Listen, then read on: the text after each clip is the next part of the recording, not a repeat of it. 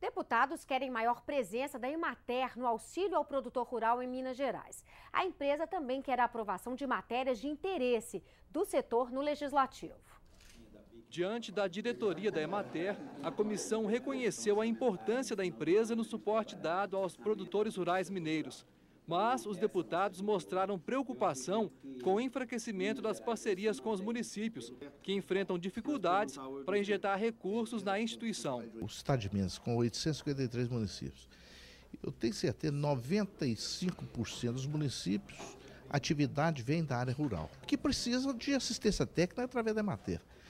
E a gente está vendo aí que muitos municípios não têm recurso para poder pagar, ter esses convênios com a Emater, ter esses técnicos para orientar o produtor rural. Estão, estão aí trabalhando para fortalecer cada vez mais o agronegócio, que é, o, que é o que está segurando hoje a economia do, do Brasil e, e é um negócio tem muito futuro para crescer. A comissão pediu atenção especial com os cafeicultores.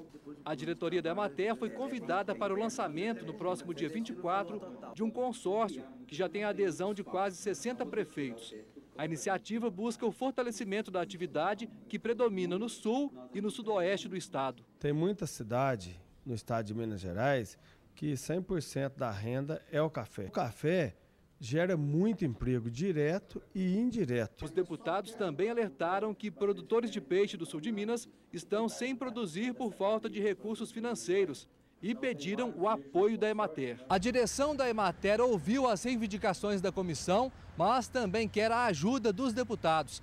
A empresa pediu a aprovação de um projeto de lei para facilitar a vida dos produtores de peixes é que tem psicultores trabalhando na ilegalidade e sujeitos a multas por causa da burocracia na concessão de licenças ambientais que permitem o exercício da atividade. Os produtores, às vezes, eles iniciam o processo e a demora nessa licitação é, é muito grande e eles acabam começando a produzir nesse intervalo de tempo e produzindo de forma é ilegal, porque eles não têm o licenciamento para funcionar a atividade. A piscicultura é um dos pontos né, importantes da cadeia produtiva que nós temos da agricultura, então é importante a gente tratar desse assunto em mesa, tentando aí também desburocratizar, né, melhorar a questão, inclusive por parte do meio ambiente. O presidente da Emater pediu aos deputados que destinem mais recursos de emendas parlamentares para a instituição. As demandas que nos foram colocadas, de uma certa maneira, nós já trabalhamos essas, essas atividades lá no campo, mas nós vamos organizar nosso grupo aqui de técnicos de Belo Horizonte, das regionais, para dar o apoio efetivo às demandas que foram colocadas aqui.